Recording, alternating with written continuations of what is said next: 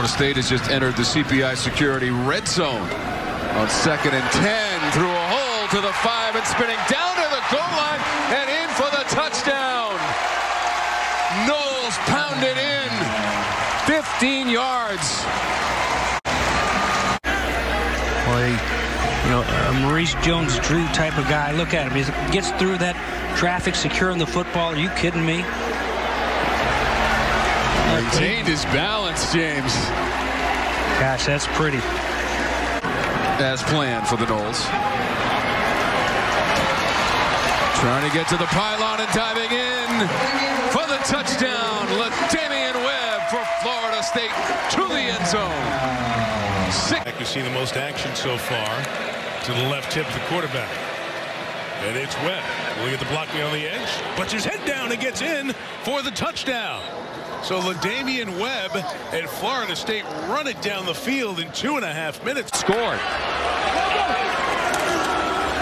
Just more than seven minutes to go in the half. La'Damian Webb bounced outside, bounced off a couple of tackles, bounced the last defender back, and got the first down. Travis gave it off to La'Damian Webb.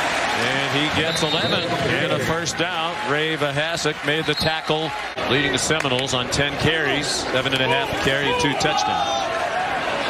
And here's La'Damian Webb. La'Damian Webb inside the 20 and finally caught inside the five-yard line. Five yards, but it's so much more than that to go back the other way. First and 15.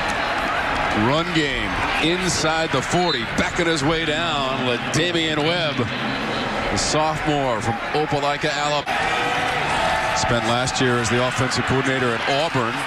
Calls Webb's number again, and it's a good call.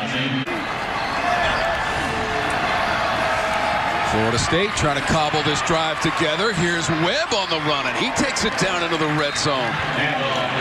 They led 7 nothing. They're going to get the first down and plenty more. That was Webb. Travis over the middle. Down inside the 45-yard line as he hit La'Damian Webb on the pass play.